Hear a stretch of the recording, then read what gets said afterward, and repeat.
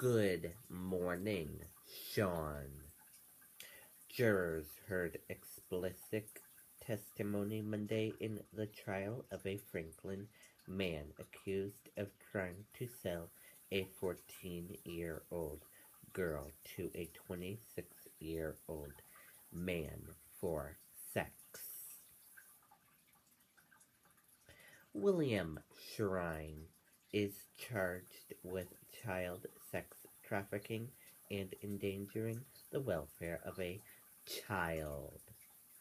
In opening statements, prosecutors showed photos of the girl. They said Shrine and his wife were shopping to prospective buyers.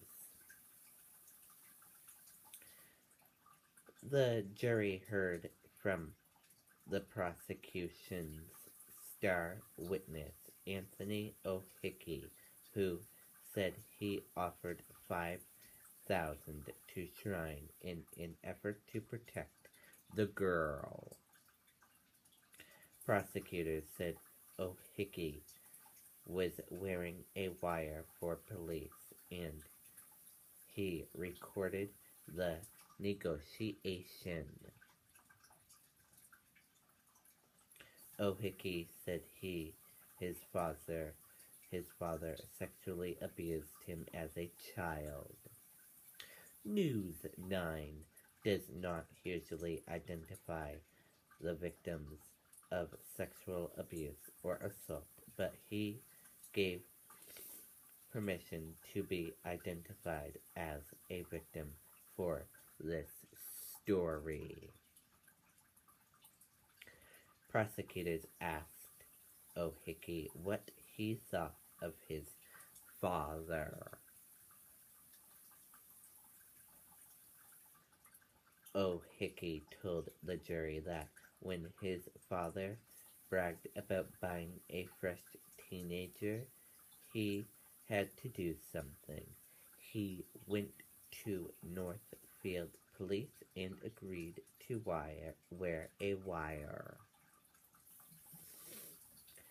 He told jurors he met Shrine in November to talk about a part of his truck, but the conversation quickly turned to the teenager.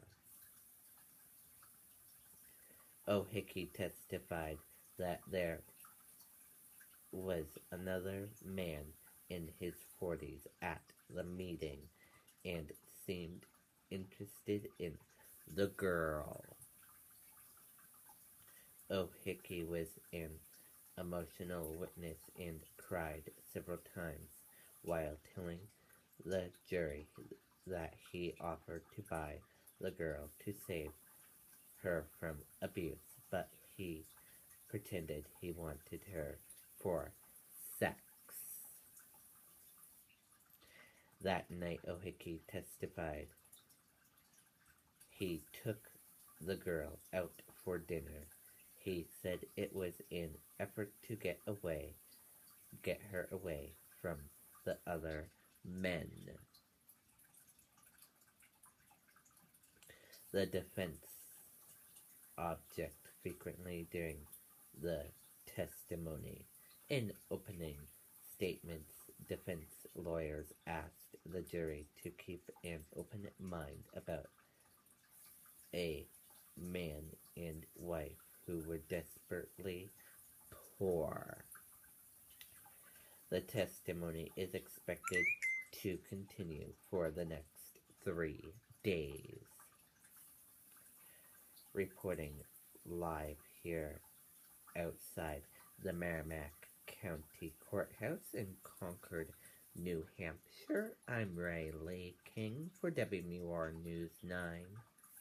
Sean, back over to you.